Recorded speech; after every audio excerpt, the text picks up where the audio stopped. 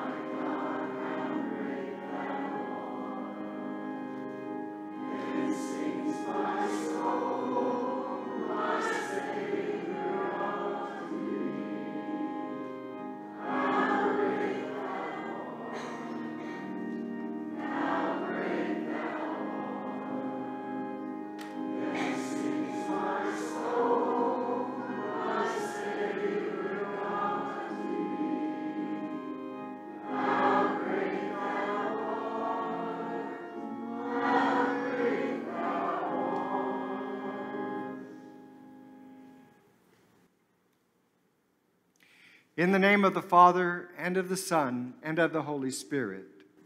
Amen. Let us pray.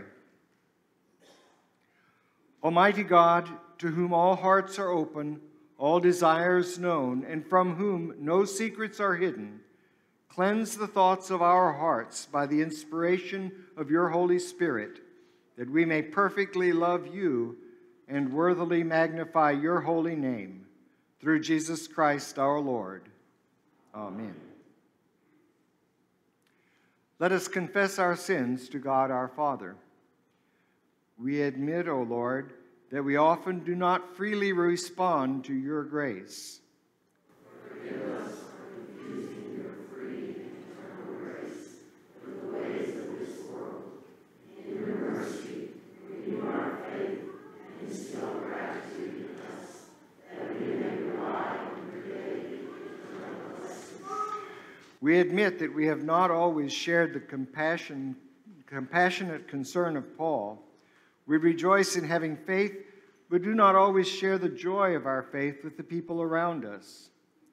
Forgive us and open our eyes to see the opportunities to tell of our faith. Give us compassionate hearts to care for those who have rejected our Savior's sacrifice for all people. We admit that we have not always considered the needs of others before our own nor have we considered how you might use us and our gifts for their welfare. Forgive us and increase our faith in you. Move us by your Holy Spirit to be part of the answer to their prayers, for we are your instruments to meet the needs of the people around us.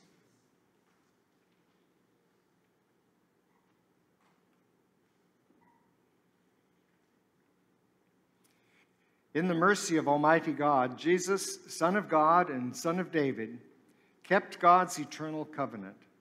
With his suffering and death, he paid the price for you, so that grace might be freely offered to you. You are counted as children of Abraham because of the faith God has planted within you.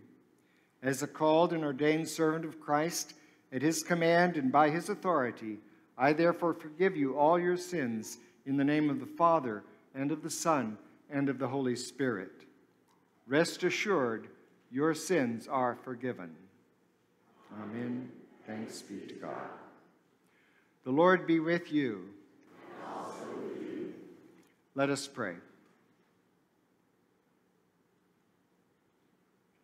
Heavenly Father, though we do not deserve your goodness, still you provide for all our needs of body and soul.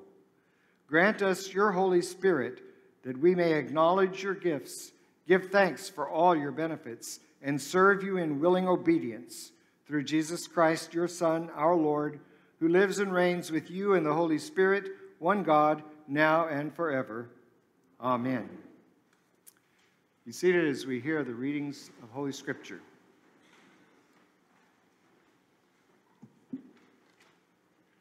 The Old Testament reading for today is from Isaiah chapter 55, verses 1 through 5. Come, everyone who thirsts, come to the waters, and he who has no money, come, buy and eat. Come, buy wine and milk without money and without price. Why do you spend your money for that which is not bread, and your labor for that which does not satisfy? Listen diligently to me, and eat what is good, and delight yourselves in rich food. Incline your ear, and come to me. Hear that your soul may live. And I will make with you an everlasting covenant, my steadfast, sure love for David. Behold, I made him a witness to the peoples, a leader and commander for the peoples. Behold, you shall call a nation that you do not know and a nation that did not know you shall run to you. Because of the Lord your God and of the Holy One of Israel, for he has glorified you. This is the word of the Lord.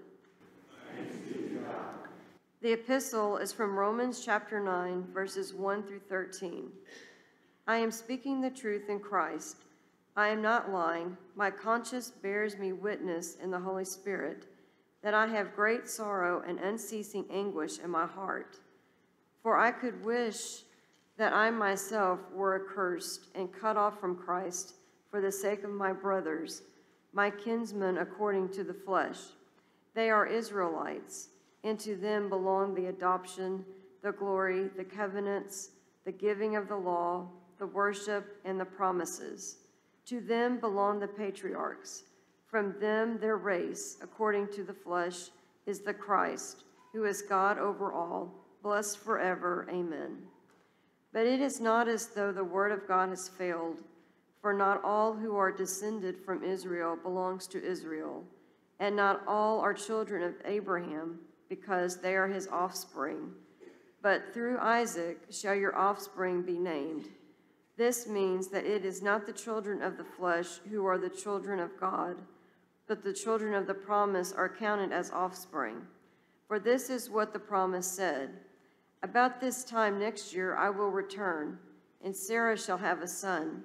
And not only so, but also when Rebekah had conceived children by one man, our forefather Isaac, though they were not yet born and had done nothing either good or bad, in order that God's purpose of election might continue, not because of works, but because of him who calls.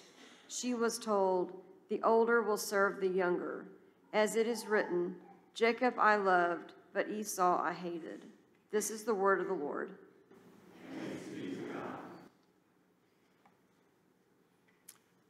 We read the psalmody responsively as it is printed. Give thanks to the Lord, for he is good. Give thanks to the God of gods. Give thanks to the Lord of lords. To him who alone does great wonders. To him who by understanding made the heavens. To him who spread out the earth above the waters. To him who made the great lights. The sun to rule over the day. The moon and stars to rule over the night.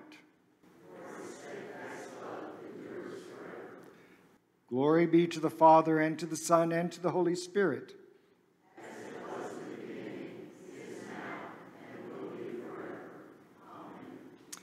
Please stand for the gradual hymn.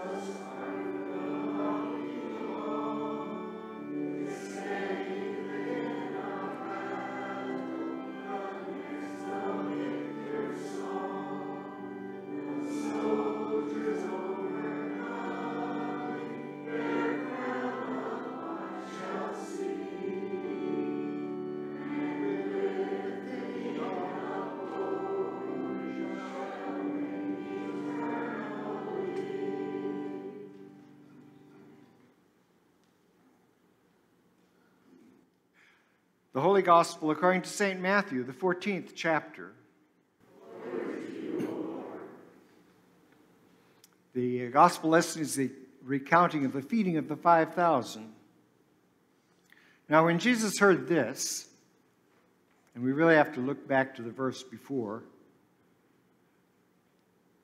John the Baptist had been beheaded, and after his disciples buried him, they came and told Jesus. And when Jesus heard this, he withdrew from there in a boat to a desolate place by himself.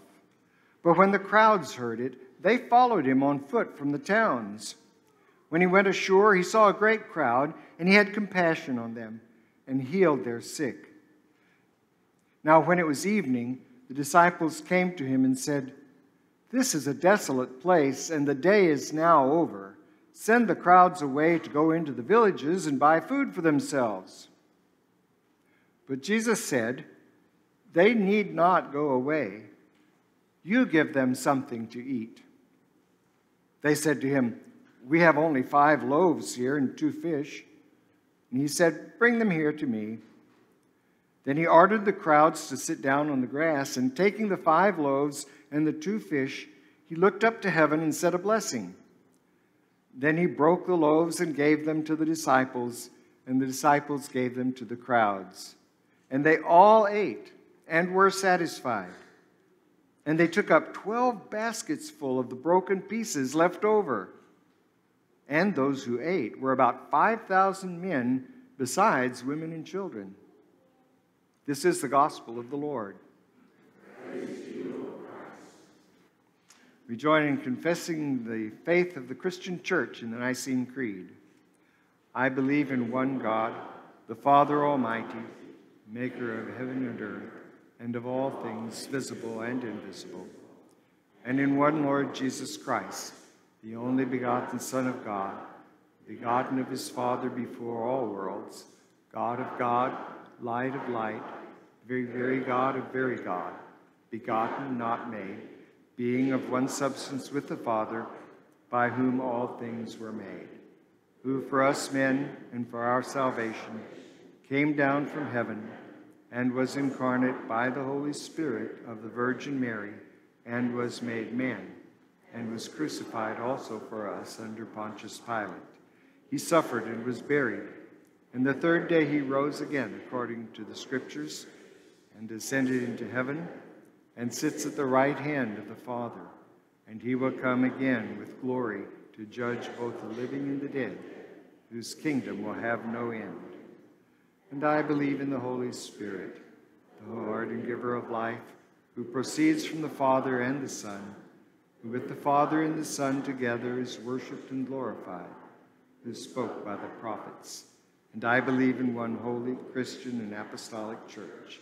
I acknowledge one baptism for remission of sins. I look for the resurrection of the dead and the life of the world to come. Amen. Please be seated, and the children may come forward now for the children's message, please.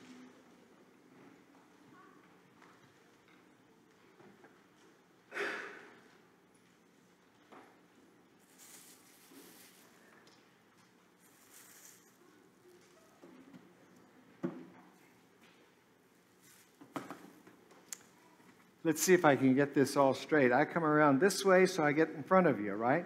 Okay. Hmm, that's a big step there. Hmm. Okay, anybody else coming? Hi. On down here. I tell you what, I'm going to cheat a little bit and I'm going to sit right here. Is that okay with y'all? Okay. Otherwise, somebody's going to have to help me up. oh, my. Been a hot week, hasn't it? What have y'all been having for, for meals? Anybody have any watermelon? Watermelon's good to eat when it's hot, isn't it? What else do you eat? Pizza? What do you do if you have pizza for supper, but you don't eat the whole pizza, what do you do with it? Ah, put it in the fridge for leftovers. That's exactly the word I wanted leftovers. Because, looky here. I've got something here. If you looked in the refrigerator and you were hungry and you found things like this,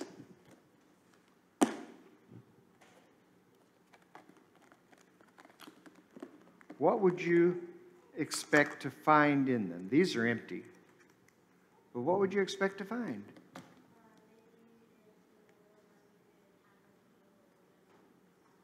Okay, dress salad dressing.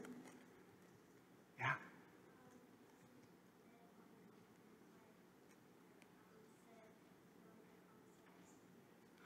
Yeah, okay, maybe some spaghetti there. And you could put it in a bowl and pop it in the microwave and have a spaghetti dinner. What anything else you might find? Pizza wouldn't fit in here, would it? But you could find pizza maybe in the, in the refrigerator. What else? Right? Chicken, yeah. Okay. It might be it might be fried chicken, it might be baked chicken, it might be chicken spaghetti. But they'd be in these kind of containers and they'd be leftovers, wouldn't they? Can you live on leftovers? Sure. Yeah, yeah. You know, I, ha- I know one person who said that they didn't eat leftovers in their house. Hmm, wow. We often have leftovers. In fact, my wife tells me when we have leftovers, that's even better because we don't have to cook the next day, right? Yeah.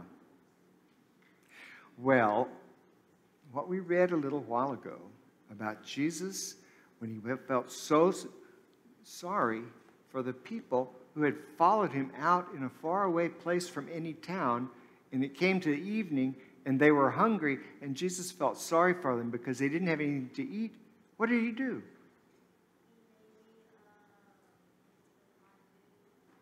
That's what the disciples said. Send them away and let them get their own food. Jesus said, No, you feed them. And they said, We don't have anything to feed them with except these five loaves of bread and two fish, and they're small fish. And Jesus said, Well, bring that to me. And they did. And you know what Jesus did with them? He fed 5,000 men and their wives and children. 5,000 families out there. And he fed them all with just five loaves and two fish. Yes. That's a good question. He just started breaking pieces off and giving them to the disciples, and the disciples took those pieces out and fed them. And it didn't, it didn't come to an end until everyone was satisfied. You know what satisfied means, right? You have plenty. You had plenty. You didn't need any more. You were satisfied. And that's the way Jesus feeds us his love. He feeds us his love so much that we have all we need and then some left over.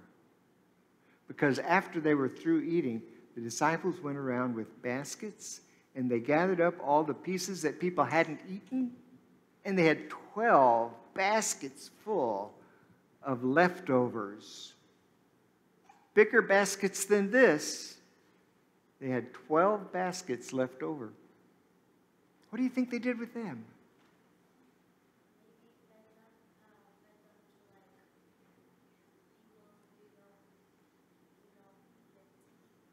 Right. They didn't throw them away. They probably took them back to the villages and fed the people there who were hungry. Yes.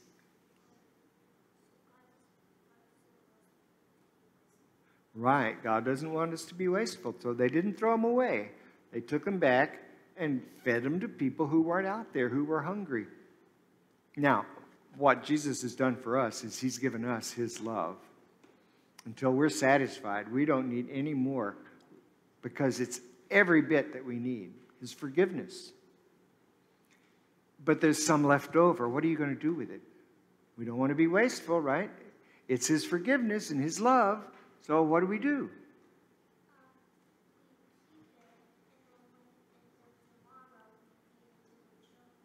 Okay, good.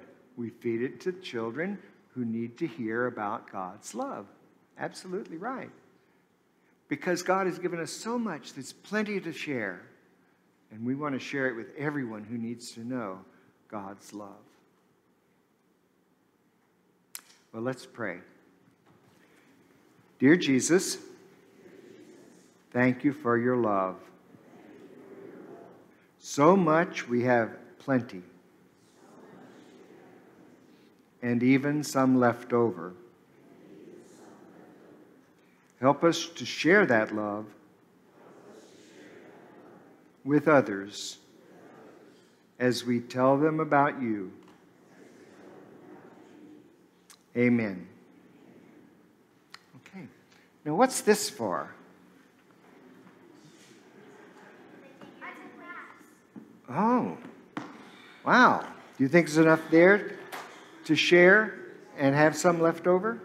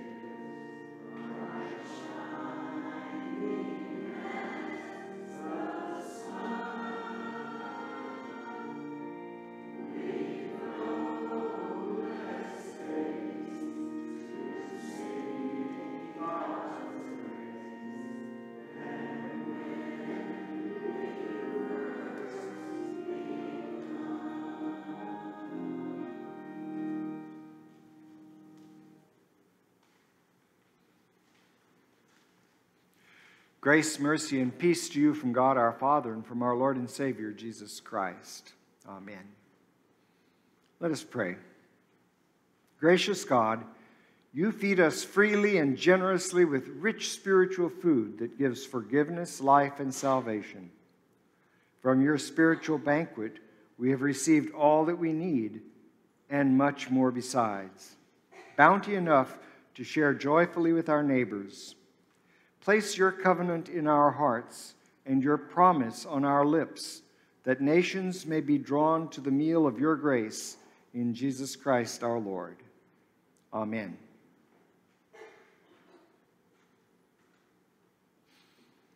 I have a confession to make. I used to enjoy all you can eat banquets, buffets. But now I find that I can't eat enough to make them worthwhile. Well, that's kind of the way it goes. So I go into an all you can eat banquet and I order that. I have one plate full. And the waiter comes and says, How about another plate full? You know, it's all you can eat. And I said, Yeah, and that's all I can eat. In our text, Isaiah describes God's love to us as an all you can eat banquet. Come, all you who are thirsty, come to the waters, and you who have no money, come buy and eat. Come, buy wine and milk without money and without cost. Why spend money on what is not bread, and your labor on what does not satisfy? Listen, listen to me and eat what is good, and your soul will delight in the richest of fare. So, God, speaking through Isaiah, describes his feast of salvation as an all you can eat banquet that is absolutely free, without cost. All you can eat, and at no cost.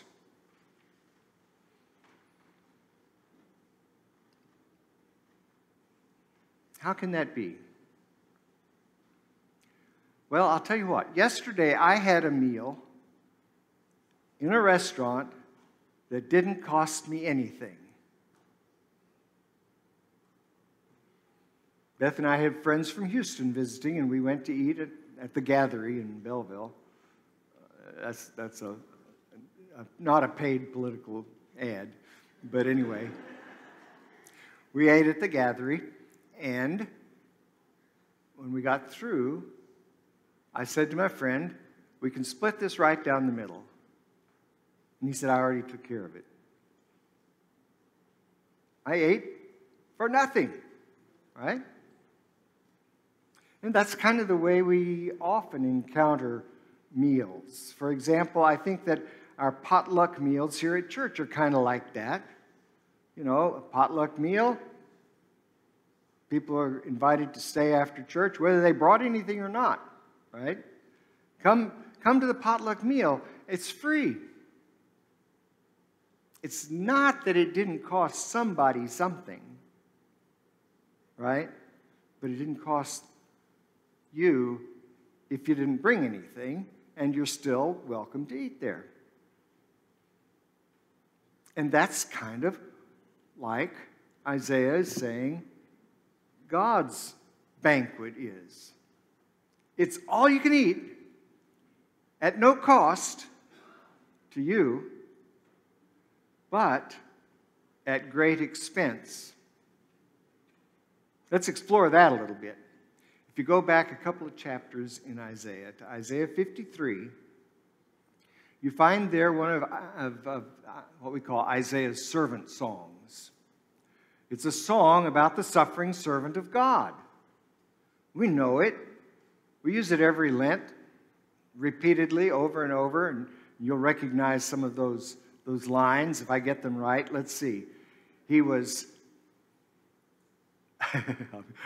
you know, Luther was absolutely right. He said, get one translation of the Bible and stick with it, because if you use one and then you use one, another one, and another one, you get all confused. Well, I started out with King James, and I had RSV, then I had NIV, and now we're using ESV, but it goes something like this He was pierced for our transgressions, He was crushed for our iniquities. The punishment that brought us peace was laid upon Him by his wounds we are healed. Now, that is a meal that is quite costly, but not to us. The expense has been paid by God's suffering servant, And that suffering servant is Jesus. He's the one who paid for this all you can eat spiritual banquet of salvation. And you and I are the ones who are invited to receive it. Wow, what a blessing. Because on the cross of Calvary, when Jesus gave his life his, uh, his life into God's hands for you and for me, it covered our sins. It gave promise of resurrection when Christ rose from the dead. And it shows us the place that he has for us in his promises. That's the spiritual banquet that Isaiah is talking about here in our text. So Isaiah describes this spiritual banquet as at no cost. He also describes it as having no wasted calories. You know what wasted calories are, don't you? I'm reminded of this often. Don't waste your calories. It takes about maybe 2,000 calories. Uh, what is that, a day or a meal? I don't know. I'd like to make it a meal, but I think it's a day.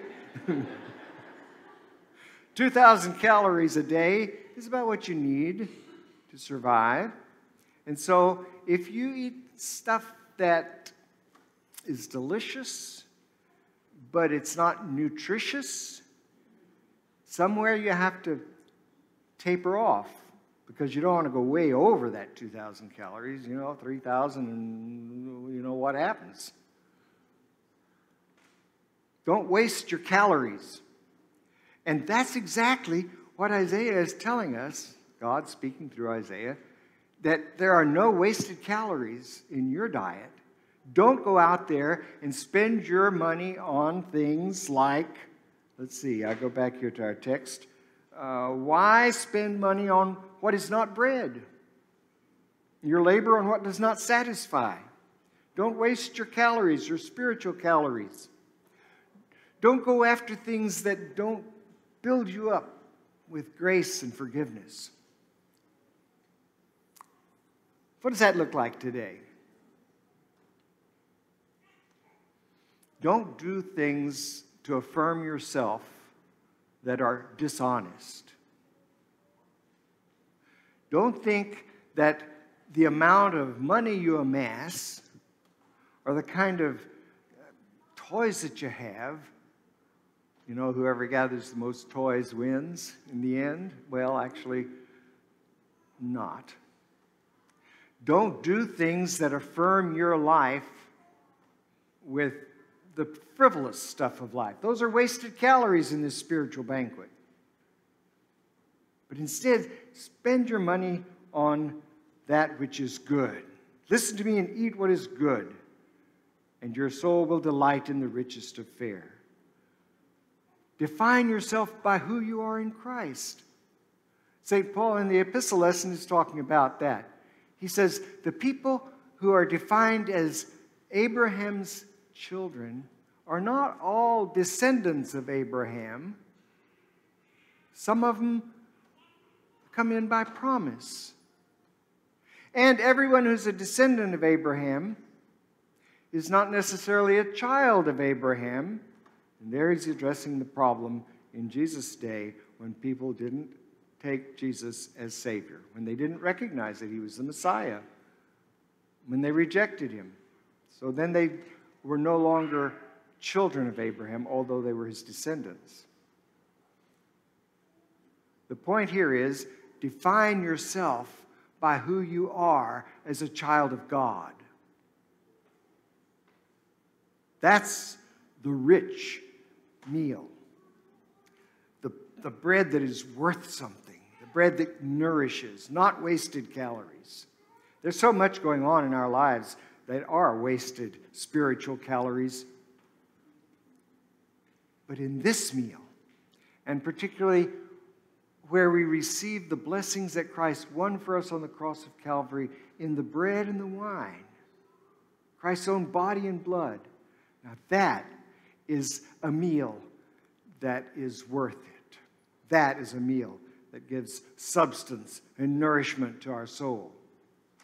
That is where we receive the forgiveness that Christ won, the promise of eternal life with Him, and the power to go out and share that with others.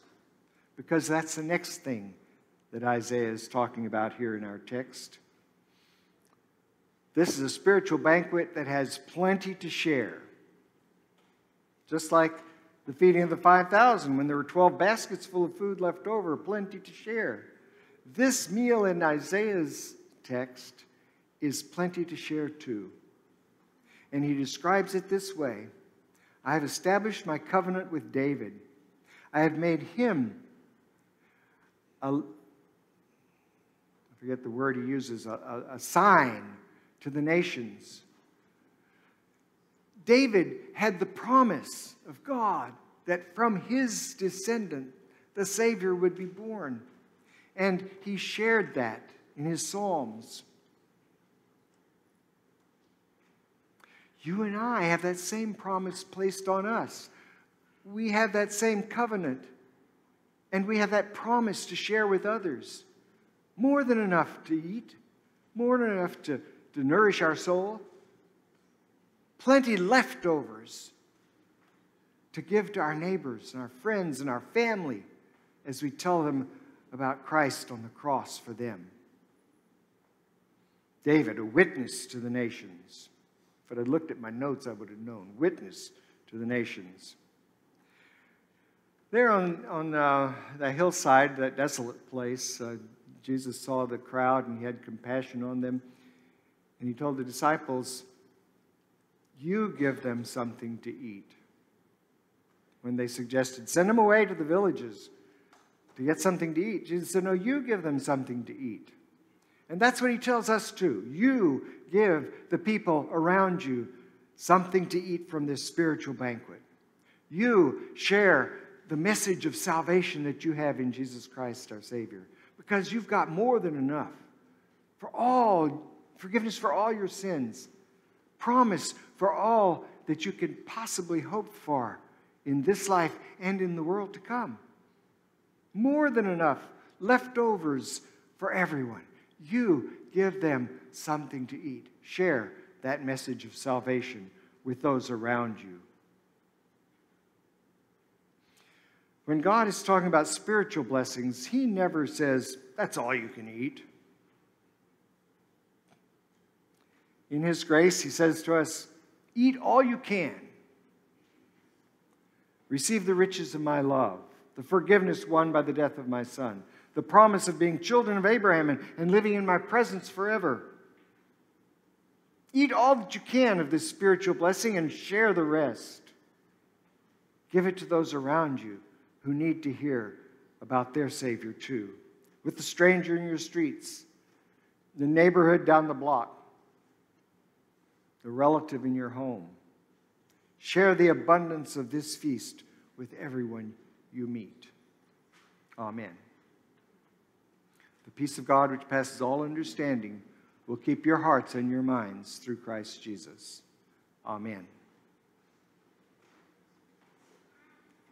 Please stand for the uh, offering and the musical offering. Oh, no, I don't think you need to stand.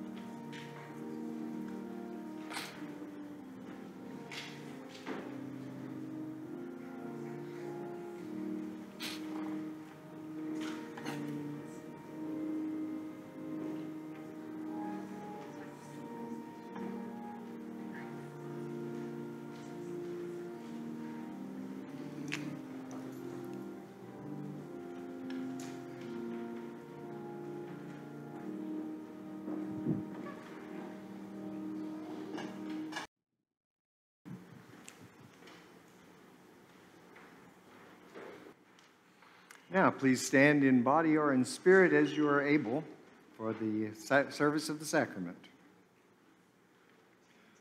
The Lord be with you. Lift up your hearts. Let us give thanks to the Lord our God. It is truly good, right, and salutary that we should at all times and in all places give thanks to you, Holy Lord, Almighty Father, everlasting God, through Jesus Christ our Lord, who on this first day of the week overcame death and the grave, and by his glorious resurrection opened to us the way of everlasting life. Therefore, with angels and archangels and with all the company of heaven, we laud and magnify your glorious name, evermore praising you and singing.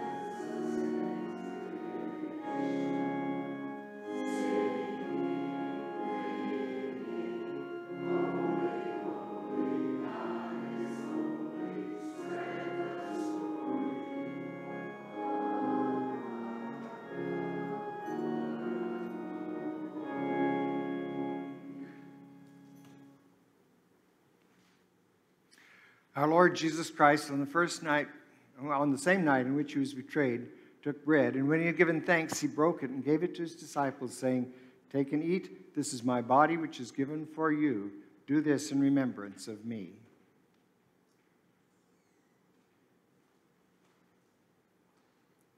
And in the same way, after supper, he took a cup, and when he had given thanks, he gave it to them, saying, Take and drink, all of you. This cup is the New Testament in my blood, which is shed for you for the forgiveness of your sins.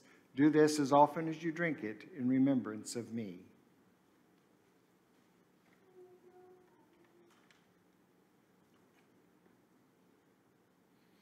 The peace of the Lord be with you always. Amen. Taught by our Lord and trusting in his promises, we are bold to pray, Our Father, who art in heaven, hallowed be thy name. Thy kingdom come, thy will be done on earth as it is in heaven. Give us this day our daily bread, and forgive us our trespasses as we forgive those who trespass against us and lead us not into temptation, but deliver us from evil. For thine is the kingdom, and the power, and the glory, forever and ever. Amen.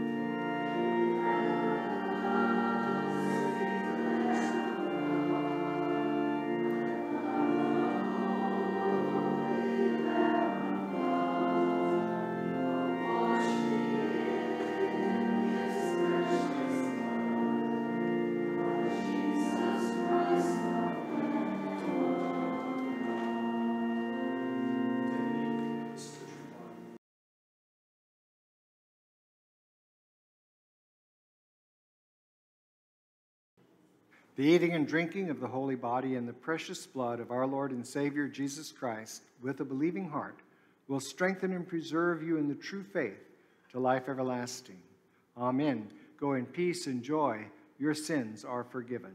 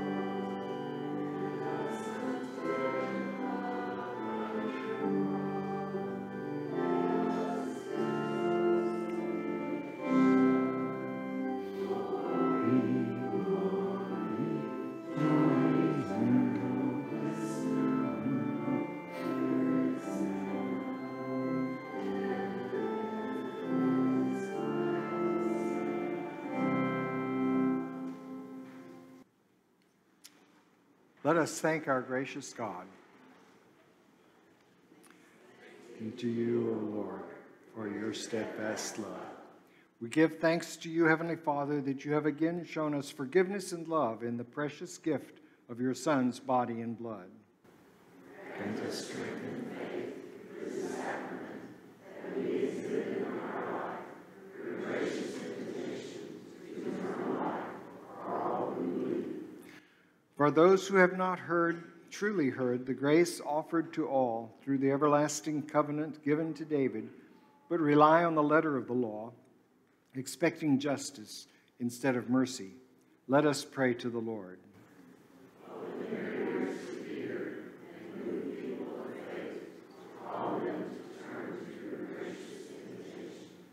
For the Holy Spirit's work through word and sacrament to instill and strengthen the faith of all who call out to you in hope and trust, let us pray to the Lord.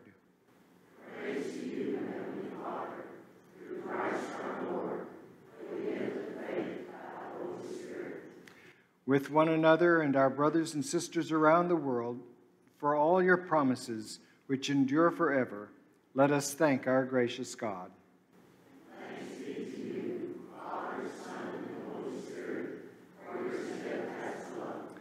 For all who face this day with little or no food, with poor shelter and tattered clothes, without caring support or necessities, dealing with ongoing oppression and persecution, struggling through long term illnesses and sudden man made or natural disasters, we pray to the Lord. And especially for those in our midst who are dealing with illness and problems in their lives for non Hodgkin lymphoma, Brenda, Carolyn, and Lisa. For lymphoma, James. For those who are dealing with lung cancer, Stephanie and Kathleen and Patsy. Uh, brain tumors, Robert and Kelly and Dylan and Linnea, uh, Lynn Lee. Uh, breast cancer, Darlene and Shirley and Trish liver cancer, Wayne and Matt, pancreatic cancer, Alan and Cindy, leukemia, Kendall. For those who are dealing with other cancers, Joe and Brett and Shannon, Josh, Johnny, Howard, Gary, Janet, Carol, Doyle, Eva, for Kim and Sylvia and Cindy and Nell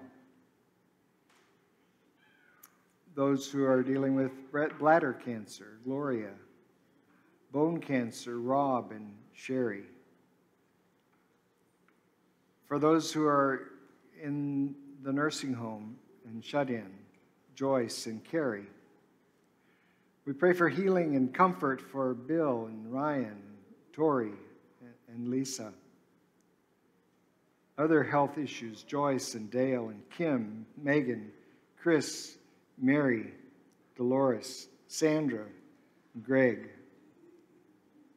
Those recovering from stroke, Vernell and Jennifer, Anita, Caitlin, and Ron,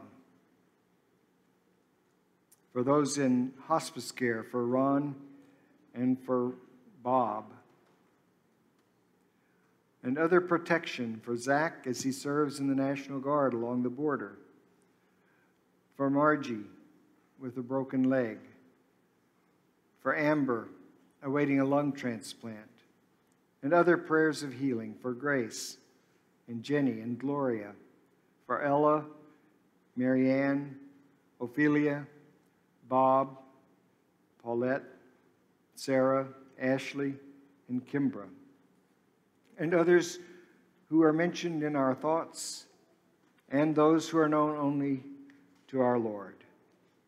We ask you, Heavenly Father, to visit, relieve, strengthen, and surround them with caring people and the precious gospel. Let us pray to the Lord.